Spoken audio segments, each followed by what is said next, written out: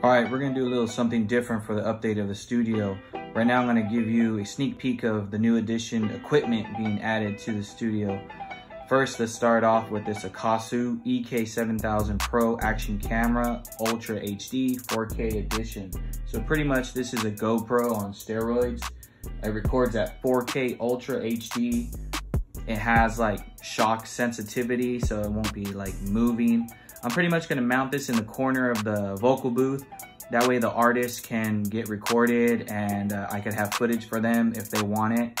Um, yeah, it has a little touchscreen in the back, uh, adjustable angle. So if I want a wide angle or maybe like zoom in, you know, I could go ahead and uh, yeah, give that footage to the artist, maybe if they want it for music videos or just promotional use.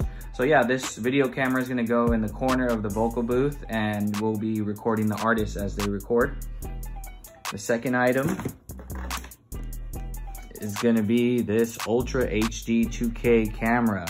This camera uh, was recommended on Amazon. It was highly recommended by YouTubers as well. I went on YouTube and I found out this is one of the cameras that they use. So this would be the second camera in the control room um, to record the other side of the studio um, when, not, when whoever's not recording.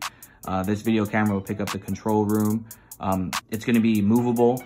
So if we ever wanted to do like a live performance uh, at the studio, we could go ahead and use this camera and uh, podcast it. This camera is great for um, live streaming. Um, yeah, so this is gonna be the second camera in the studio.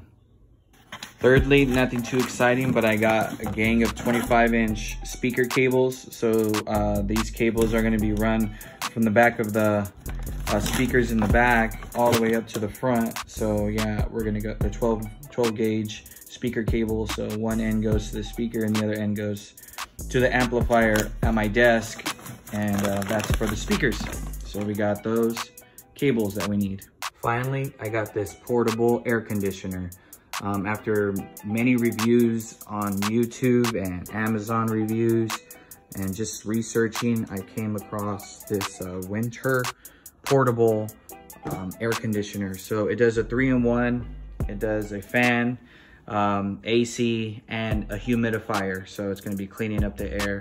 And the great thing about this one that I liked is it's a dual hose. So it has two hoses in the back, one to um, uh, throw air out and some to suck in air. So uh, yeah, this was the highly recommended air conditioner. So uh, this is gonna go into the studio and keep us nice and cool and warm. So yeah, another piece of equipment for the studio.